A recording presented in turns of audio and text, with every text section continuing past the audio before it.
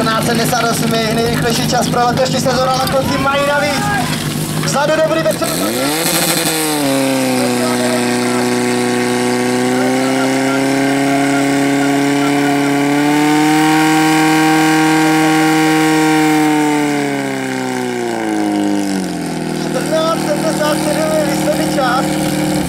Já jsem říkal, že kluci